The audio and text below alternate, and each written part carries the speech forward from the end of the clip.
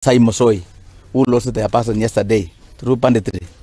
They were killed by a bandit, and up to now, that person has not been arrested.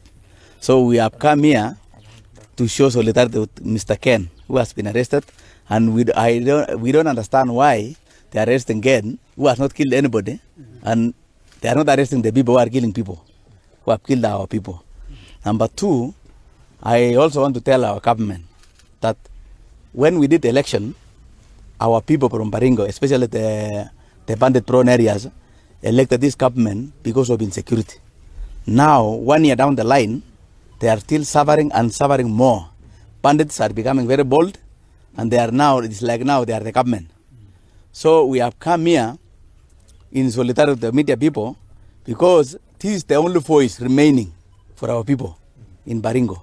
We have been killed, we have talked, we have gone everywhere. Today we are in the in the office of the uh, our police headquarters here in Baringo, and the only remedy now currently, which has been ex exposing what is happening to our people, is the media.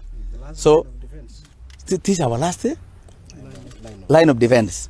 So we have come here to be with you. We have come here to be to show that we are together. We are leaders. As leaders from Baringo, we are complaining, and we don't fear the government. We are elect- all of us. We are elected, and we want to tell the president, please calm down, calm down, and help. When you were the deputy president, you were there, and you saw it yourself. A chief was killed when you were there. Now the same thing is still happening, and it's happening seriously. Please calm down, Mr. President, and help us because and also tell your tell your tell the officers let us not be arresting our our media people because this is our only voice because where will we go if if these people cannot exp- expose what is happening in our in our in our midst eh, nobody else. So we we have come here to help you. We have come here to be in solidarity with you. And we are going to be with you until you got freedom like anybody